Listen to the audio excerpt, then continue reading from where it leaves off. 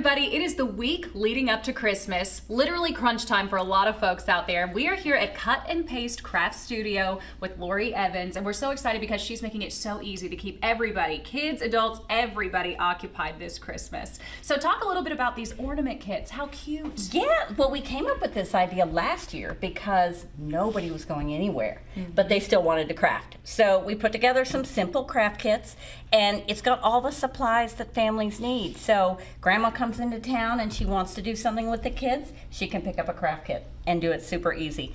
And it just, it's as simple as dip your brush in the paint and start painting. And go to town. And go to town. And with the kids, parents always ask me, is there, can you teach them? Is there a lesson? Children don't need a lesson in this. They just look at it and go, color, I'm going to put it on there. And if you let them go, they learn so much about how paint works and how creativity works and how their brushes work and how the paint works. So we just let them paint. Absolutely. And it's fun for kids to be creative. And you have all skill levels. And yes. I love the little puppy dogs yes. Oh my gosh. This one is super easy because the lines are already etched onto there.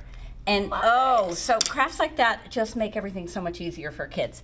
Uh, we throw in a little bit of bling and a little bit of glue and a popsicle stick, and then, you know, to put the glue on with, and then you've got strings and you're ready to create something that you know you're going to have on your tree for a very long time. Write the name on the back, put the date on the back, and mm -hmm. you've got a mm-hmm. memory there. I know. I always loved having those ornaments where you could look back and have each year have a special yes. ornament. So this is just perfect. Yes, and you get to watch your children's skill grow as they get more and more advanced and they learn more and more about painting, every year their ornaments will look nicer and nicer. I love it. So people can literally order one of these and pick out whatever yes, ornament they want? They're on our website under kits. They're also here in the shop. You just walk in and pick them out. And if you don't like my choices, mm -hmm. you come in and pick three ornaments of your own and we'll pack up the paint you want and send it on with you. That is awesome. And if people just want to learn more about Cut and Paste Craft Studio, how do they do that? They can go to cutandpastecraftstudio.com uh, or they can drop by and just take a look around, walk around and see what we have to do.